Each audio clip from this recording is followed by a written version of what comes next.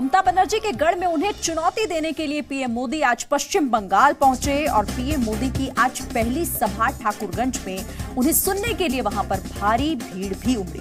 लेकिन भगदड़ की आशंका की वजह से मोदी को अपना भाषण सिर्फ़ 14 मिनट में ही खत्म करना पड़ा। लोकसभा चुनावों के लिए पश्चिम बंगाल में मोदी का चुनावी अभियान शुरू। उत्तरी 24 परगना के ठाकुर नगर में रैली में पीएम का ममता सरकार पर हमला। भारी भीड़ की वजह से कोई हादसा न हो। इसके लिए पीएम ने 14 मिनट में खत्म किया भाषण।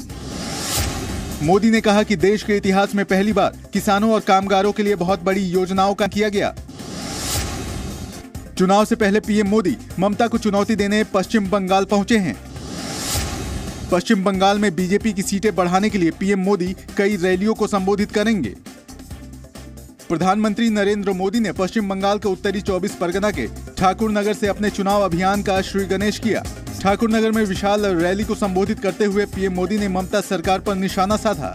मोदी ने कहा कि पश्चिम बंगाल में स्थिति खराब है और उनकी सरकार उस स्थिति को बदलने का प्रयास कर रही है, लेकिन इससे दीदी हिंसा पर उतर आई हैं। मोदी ने कांग्रेस को निशाने पर लेते हुए कहा कि किसानों के साथ कर्ज माफ़ी की राजनीति करके किसानों की आँख में धूल झोंकने के प्रयास किए जा रहे हैं। पीएम मोदी की रैली में भारी भीड़ देखने को मिली, लेकिन भगदड़ होने की आशंका की वजह से पीएम ने अपना भाषण 14 मिनट में ही खत्म कर दिया।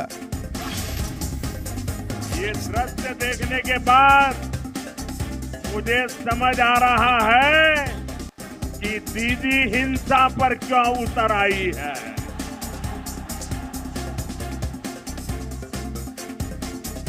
ये आपका प्यार है जिसके डर के कारण लोकतंत्र का बचाव के नाटक करने वाले लोग निर्दोष लोगों की हत्या करने पर तुले हुए हैं। देश भर के जिन भी किसानों के पास पाँच एकड़ तक भूमि है, उनको हर वर्ष केंद्र की सरकार छह हज़ार रुपये तक की सहायता कि मोदी बैंकों में खाते खुलवाने पर इतना ज़ोर क्यों दे रहा था? यहाँ जो सरकार है, वो विकास की परियोजनाओं को लेकर के रत्ती भर भी गंभीर नहीं है। स्थिति ये है कि पश्चिम बंगाल में इंफ्रास्ट्रक्चर से जुड़े लगभग नब्बे हज़ार करोड़ रुपए के करीब करीब दो दर्जन बड़े प्रोजेक्ट पर। काम या तो शुरू ही नहीं हो पा रहा है, और अगर कुछ शुरू हुआ है तो बिल्कुल मरी हुई गति से काम हो रहा है। साथियों, हमारे देश में कई बार किसानों के साथ कर्ज माफ़ी की राजनीति करके किसानों की आँख में चुल झोंकने के निर्लज प्रयास हुए हैं।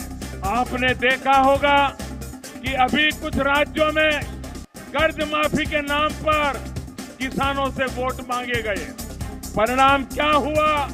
ऐसे किसानों की कर्ज माफ़ी हो रही है जिसने कभी कर्ज लिया ही नहीं।